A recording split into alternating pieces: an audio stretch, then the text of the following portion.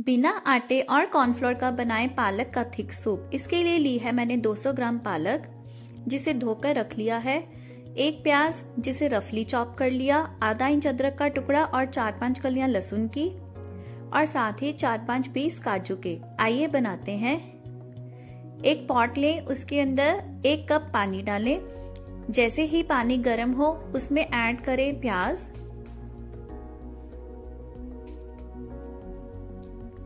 साथ ही डालें अदरक और लहसुन। चार पाँच काजू। और पालक। देखिए, मैंने पालक को चॉप भी नहीं किया। आप धोकर ऐसे ही पालक को डाल सकते हैं। एक चम्मच नमक ऐड करेंगे और इसे दो मिनट के लिए उबलने देंगे। ये पालक का सूप बहुत ही सिंपल है। ये बिना आटे और बिना कॉर्नफ्लोर के बनाया जाएगा, जो कि हेल्दी भी है और टेस्टी भी। सिर्फ़ काजू ही डालने से हमारा पालक का सूप इतना थिक हो जाएगा कि वो क्रीम ऑफ़ स्पिनिच सूप बन जाएगा। देखिए, पालक पूरी तरह से उबल चुकी है। अब हम गैस बंद करेंगे और इसे बीट कर लेंगे। आप मिक्सर ग्राइंडर में भी बीट कर सकते हैं। मैं यहाँ पर हैंड ब्लेंडर की मदद से इसे बीट करूँगी। जो पानी हमने बॉईल करने के लिए यूज़ किया था, आप वो भी इसके अंदर ऐड कर दीजिए। ताकि कोई भी न्यूट्रिएंट्स हमारे हाथ से ना निकल जाएँ। देखिए बीट होने के बाद ये कुछ ऐसा दिखेगा। कितना थिक और क्रीमी अब आती है इसे दोबारा सॉटे करने की बारी। तो वही पैन में हम बटर ऐड करेंगे। जैसे ही बटर मेल्ट होने लगे आप पालक की प्यूरी इसमें डाल दीजिए।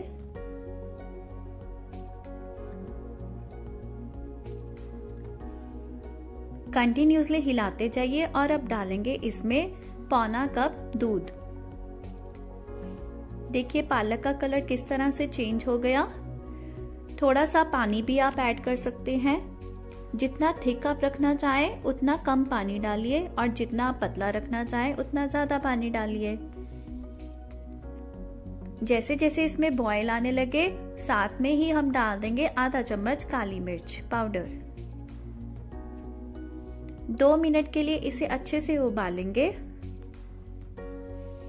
देखिए इसका टेक्सचर कितना ही रिच हो गया। हमारा पालक का सूप तैयार है। आइए करते हैं इसकी प्लेटिंग लेंगे हम एक बाउल और उसमें डालेंगे पालक का सूप और गार्निश करेंगे इसे मलाई या क्रीम से। मैंने यहाँ पर घर पर ही एक कोन तैयार कर लिया और उसके अंदर फिटी हुई क्रीम डाल के इसके ऊपर छोटे छोटे हार्ड स्ट्रॉ कर दिए। लग रहा है ना ये भी रेस्टोरेंट स्टाइल पालक का सूप तो सर्दियों में इंजॉय कीजिए, बच्चों को भी पिलाइए। पोषक तत्वों से भरपूर क्रीम ऑफ़ स्पिनिच सूप जिन्होंने मेरा चैनल सब्सक्राइब नहीं किया, वो जल्द से जल्द मेरा चैनल सब्सक्राइब करें। Stay tuned for the next video. Till then, bye bye.